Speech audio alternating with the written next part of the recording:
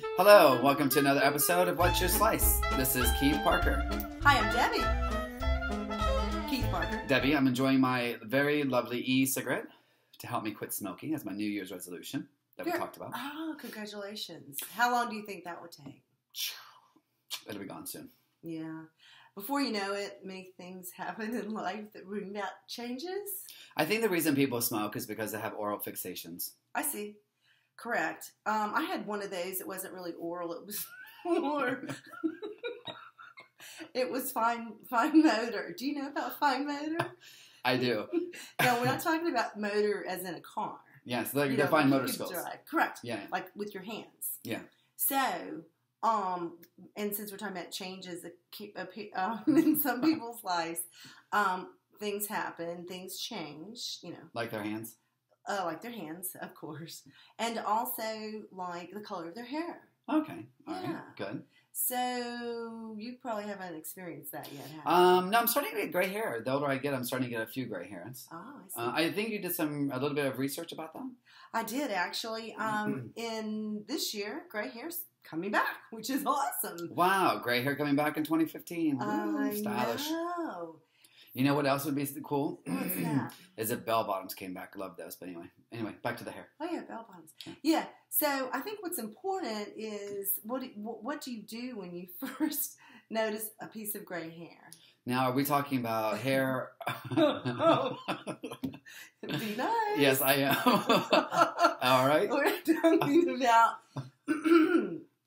head of head of hair. Head of hair. Thank you for the clarification. You're so welcome. So what happens? Oh my God! You look in the mirror and. And all of a sudden, there's You this one little piece of grayness. what do you do?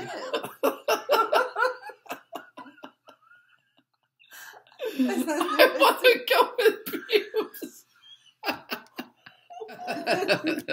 All right, we had to cut out some something in between. As you see, we've skipped over. We had to cut out something in between because we were getting a little too, you know, silly about that that subject.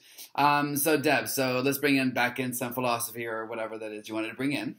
Well, what's really interesting that I discovered when I was um, researching some of this is that there really is no such thing as gray hair, folks. What do you think about that?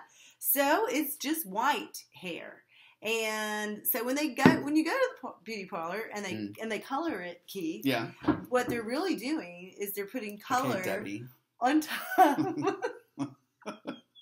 on top